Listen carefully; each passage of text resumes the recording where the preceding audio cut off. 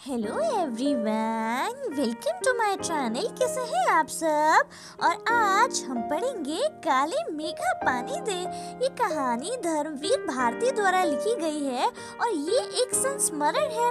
संस्मरण मतलब जो लेखक के जो बचपन की बातें थी, बचपन की यादें थी और बचपन के जो कुछ किस्से थे, उन्हीं में से एक किस्सा वो आज हमको सुनाते हैं। और ये जो किस्सा है, ये पानी से रिलेटेड है, बारिश से रिलेटेड है और बचपन में जो थी, एक मान्यता थी जो उन्होंने देखी थी, एक अंधविश्वास था जो उन्हें समझ में नहीं आता था कि लोग क्यों करते हैं। लेकिन आज जब उन्हें ये बातें समझ में आती हैं तो वो हमारे साथ वो साझा करते हैं। तो वो कहानी बताते हुए कहते हैं कि गाँव में, मेरे गाँव में बच्चों की एक मंडली हुआ करती थी, जिसके सदस्य 10 से 18 साल के लड़के होते थे। ये बच्चे अपने बदन पर सिर्फ़ एक लंगोटी या जांघिया पहन के रहते थे। जब गर्मी बहुत ज़्यादा बढ़ जाती थी और बादल दूर दूर तक आसमान में कहीं दिखाई नहीं देते थे, तब ये बच्चे एक जगह इकट्ठा होकर बोलते थे बोल गंगा मैया की जय, काले मेघा पानी दे, गगरी फूटी बैल प्यासा पानी दे पानी दे। ये लोकगीत गाते हुए गाँव की गलियों में धूम धूमधाम से शोर मचाते हुए घूमा करते थे।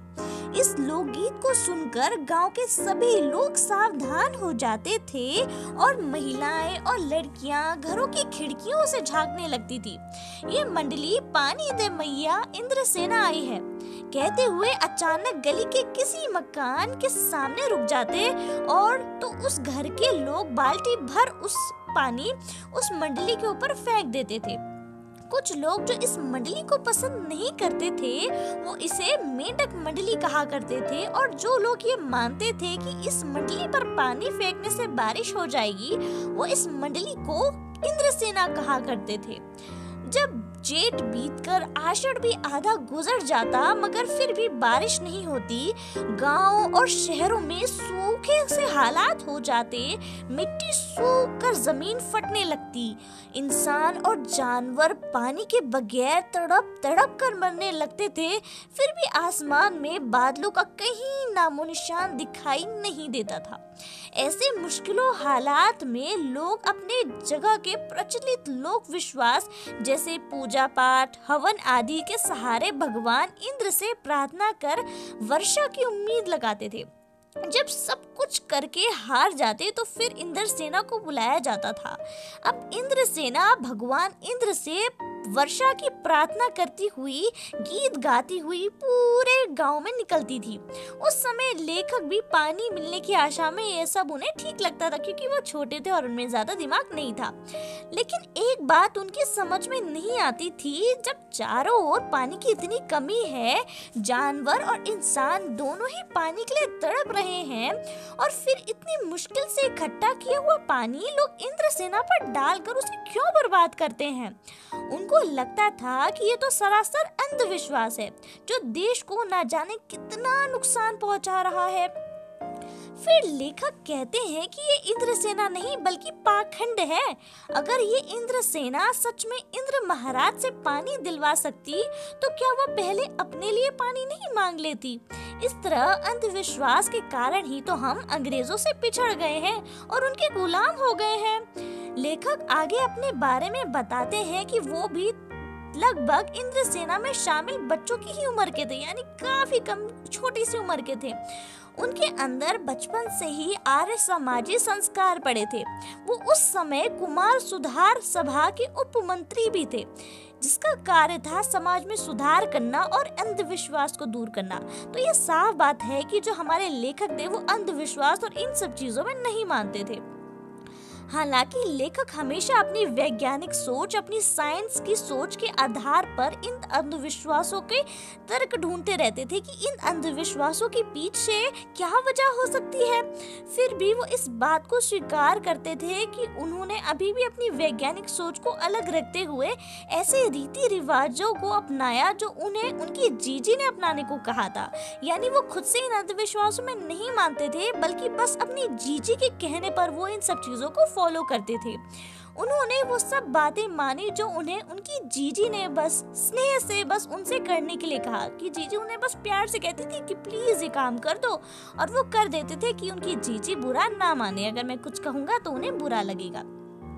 लेखक कहते हैं कि उन्हें सबसे ज़्यादा प्यार उनकी जीजी से ही मिला।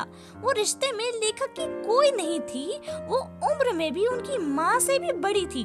लेकिन वो अपने परिवार वालों से पहले लेखक को ही पूजा पाठ तीज त्योहार आदि में बुलाया करती थी और उनके हाथों से ही सारा काम करवाया करती थी, जिससे कि लेखक को उसका पुण्य मिले और लेखक उनकी हर बात मानते थे। वो जरा सा भी जीजी को नाराज़ नहीं करते थे।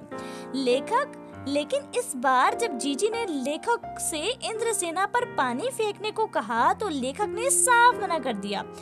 लेकिन जीजी ने खुद ही बाल्टी भर कर पानी इंद्रसेना के ऊपर फेंक दिया, जिसे देखकर लेखक नाराज़ हो गए। लेखक को मनाते हुए जीजी ने उन्हें बड़े प्यार से समझाया कि ये पानी की बर्बादी नहीं है। ये तो पानी का अर्क है, जो हम इंद्रसेना के माध्यम से इंद्रदेव पर चढ़ाते हैं। फिर उन्होंने कहा कि जो चीज़ इंसान पाना चाहता है, उसे पहले देना, अगर पहले देगा नहीं तो पाएगा कैसे? इसलिए ऋषि मुनियों ने दान को सबसे ऊँचा स्थान दिया है। इस पर लेखक कहते हैं कि ऋषि मुनियों को क्यों बदनाम करती हो जीजी? जब आदमी पानी की एक एक बूंद को तरसे, तब पानी की इस तरह बर्बादी को क्या हम कह सकते हैं? ये तो बेवकूफ़ी हुई। इस पर जीजी थोड़ी देर चुप रही। फिर उन्होंने कहा कि देखो भैया, बिना त्याग के दान नहीं होता। अगर तुम्हारे पास करोड़ों रुपए हैं और तुमने उनमें से कुछ रुपए दान कर दिए तो वो दान नहीं है। दान तो वो है, जब किसी के पास कोई चीज़ कम है, फिर भी वो उस वस्तु को दान कर रहा है तो उसको, उसके दान का फल मिलता है। लेखक उनकी बात को काटते हुए कहते हैं कि ये सब ढकोसला है और मैं इन सब बातों को नहीं मानता। अब जीजी फिर लेखक को समझाते हुए कहती हैं कि तू तो पढ़ा लिखा है, मगर मैं पढ़ी लिखी नहीं हूँ। लेकिन मैं इस बात को अनुभव से जानती हूँ कि जब किसान तीस या चालीस मन गेहूँ उगाना चाहता है तो उसे पाँच या छह शेर गेहूँ अच्छा गेहूँ ज़मीन की क्यारियों में वो फेंक कर ज़मीन में जो क्यारियाँ बनाकर वो गेहूँ को फेंक देता है। और इस तरह जो गेहूँ की बुआई होती है। बस हम भी तो पानी की बुआई ही कर रहे हैं। जब हम पानी, जब हम ये पानी गली में बोएँगे, तभी तो शहर, कस्बों और गाँव में पानी वाले बादलों की फ़सल आएगी। हम बीज बनाकर पानी देते हैं, फिर काले मेघा से पानी मांगते हैं। जीजी लेखक को आगे समझाते हुए कहती हैं कि सब ऋषि मुनि कह गए कि पहले खुद दो, तब देवता तुम्हें चौगुना आठ गुना करके लौटाएँगे लेखक ने जब ये संस्मरण लिखा था, तब देश की आज़ादी के 50 साल पूरे हो रहे थे। तो उन्होंने अपने आप से सवाल किया कि हम अपने देश के लिए करते ही क्या हैं? मांगे तो हर जगह पे बड़ी बड़ी हैं, पर त्याग का कहीं नामो निशान नहीं। अपना स्वार्थ एक मात्र लक्ष्य रह गया है। हम चटकारे लेकर लोगों के भ्रष्टाचार की बातें तो खूब करते हैं, लेकिन क्या हम खुद उसी भ्रष्टाचार का अंग नहीं है? लेखक कहते हैं कि बादल आते हैं और पानी बरसता है, लेकिन बैल प्यासे के प्यासे और गगरी फूटी की फूटी रहती है। आखिरकार यह स्थिति कब बदलेगी? लेखक की यह पंक्ति हमारे समाज की व्यवस्था पर एक व्यंग है। क्योंकि हमारे देश में हर वर्ग का जो गरीब, बेबस, बेसहारा और अनाथ जो लोग होते हैं, उनके लिए हज़ारों योजनाएँ बनती हैं। लेकिन इन योजनाओं का लाभ उस वर्ग को नहीं मिलता। ये सभी योजनाएँ भ्रष्टाचार के भेंट चढ़ जाती हैं। उच्च अधिकारी वर्ग से लेकर निम्न स्तर तक के सभी सरकारी कर्मचारियों की जेबें भर जाती हैं, मगर जिनके लिए योजनाएँ बनाई जाती हैं, उन्हें उनका लाभ नहीं मिलता है। विकास की बातें तो बहुत की जाती हैं, मगर ये विकास सिर्फ़ कागजों तक ही सीमित रहता है। इसलिए लेखक कहते हैं कि बरसात होने के बाद भी बैल प्यासा रह जाता है और गगरी फूटी रह जाती है। आई होप आपको ये कहानी समझ आई हो। अगर ये वीडियो हेल्पफुल रही हो प्लीज़ मेरे चैनल को सब्सक्राइब करें, वीडियो को लाइक करें शेयर करें।